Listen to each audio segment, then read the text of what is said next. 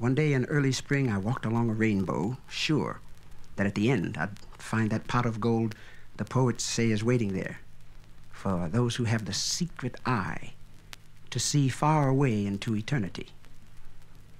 And as I walked along looking at the rainbow, how, I wondered, would I bring my gold away? Or would I stay and live among the lovely colors shining down on me, resting there till eternity? And if I took away the golden light, that would bring about eternal night. And would it make me happy what I'd find? Or would I trade the gold for peace of mind? I'll get a peace of mind when I get the gold, find what I didn't know. It's a gold mine over here. I see the recline this time. It's a gold shine with a different glow. It's a gold mine over here.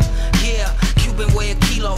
Niggas I approve, say for Eto. The ones who wasted jewels ain't for me though.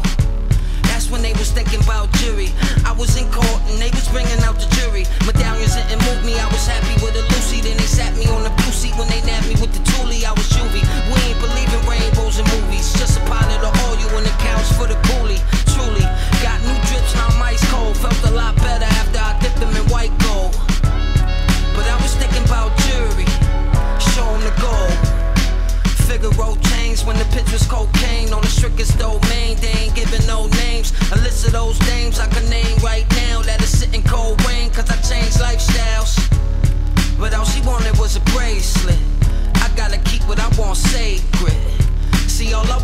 but the game don't change, it's the same right now. And right now I'm trying to change it. No more locking with the fork until it